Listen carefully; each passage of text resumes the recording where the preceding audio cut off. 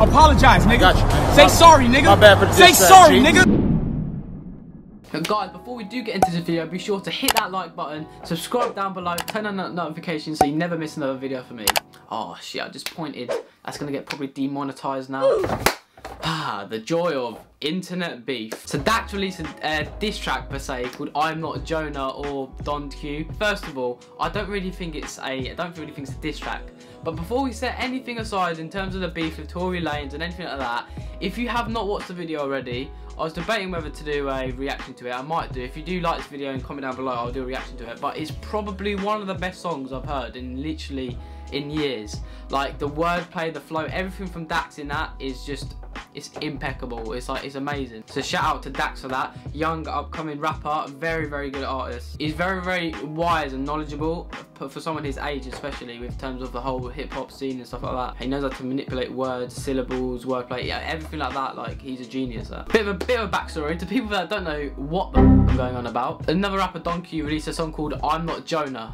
Joyner Lucas and digs Tory Lane and obviously Joyner Lucas as well. And Tory Lane decided to drop a diss track on Don Q, and it was very very good. I have to say I do I do respect Tory Lanez in that way. I wouldn't say he's my favourite rapper at all, far from that. But he, he he's quite he's quite decent. Check him out. And these two di actual diss tracks. It says entitled diss track. And then obviously Dax released his. And then obviously Tory Lanez. I think he felt a bit salty. You know, it's a little bit salt, salty about that. So what did he do? He decided to pull up on Dax. We're gonna watch the footage now, but before we get into anything, I don't understand the whole culture of pulling up. Things should just stay. I understand how it's completely different in the US than it is in the UK.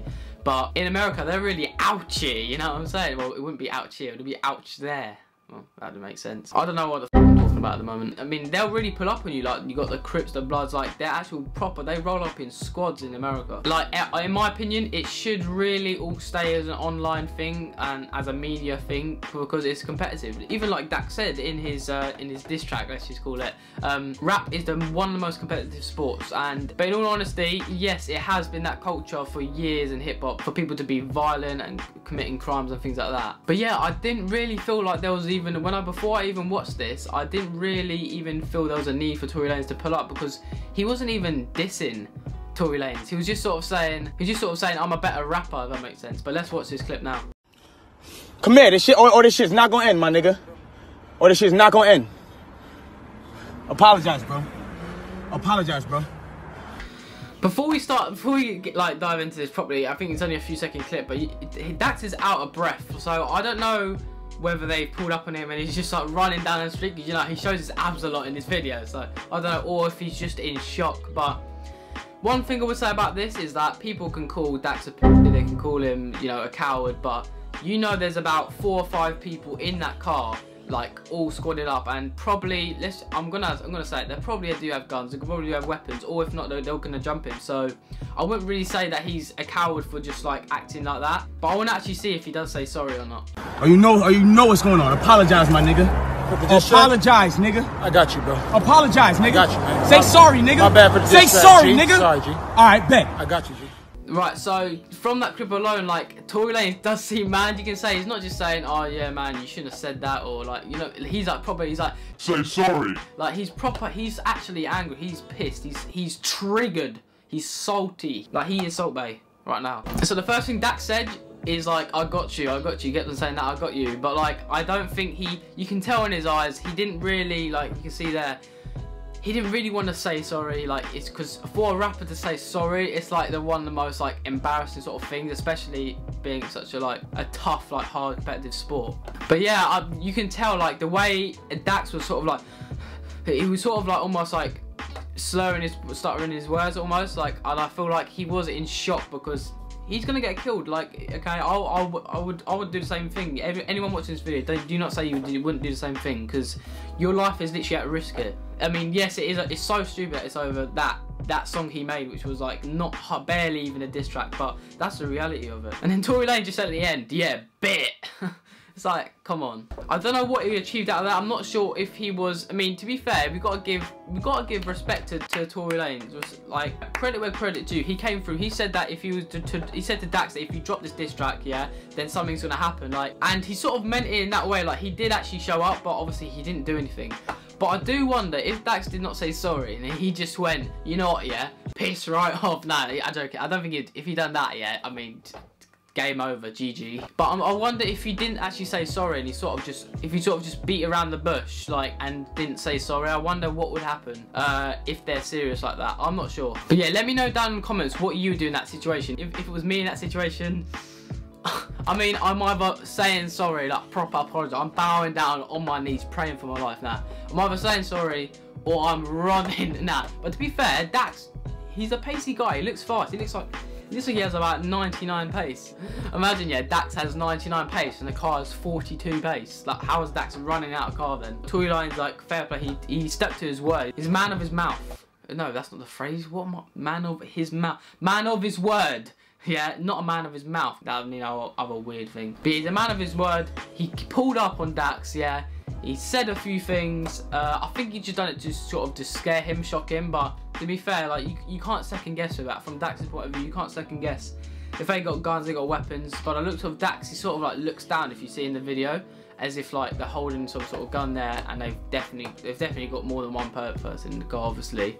Four or five people. He done well there. I mean I'm, I'm, saying done well. Like there's not more much you can do in that situation to be honest. To be fair it is a bit like tory lanez did warn dax. Do not drop the diss track or something will happen but you know dax just dropped anyway. Like he just dropped anyway. But to be fair like it's his song. Like you can't really stop someone from doing it. It's not like he said anything racist. He didn't even say anything remotely bad in the song really. He just said he's a better rapper. Dax was essentially just talking about what Tory Lane talks about in his song about like about like girls, money, cars, and all that, and he and how Dax is a better artist because he writes well and he talks about like positive messages and things like that. Which is like fair enough. It's, it's a competitive sport. You can't just say, nah, you know what? Yeah, he dropped a diss track on me. And nah, just just uh, don't say sorry. You can't do that. Tory Lane should just do a diss track back at Dax. I don't understand. Like if he actually does do that, like he is a hypocrite because it's like you're going after him again, so you're just prolonging the whole situation. Like if you guys did not know, like when I say he warned him, like he literally DM'd him. I'll put the screenshot here now. Like he's, he's talking about some sort of tactic. Like I know what your tactic is. It's not 4-4-2 formation. You know what I mean? Like it's not.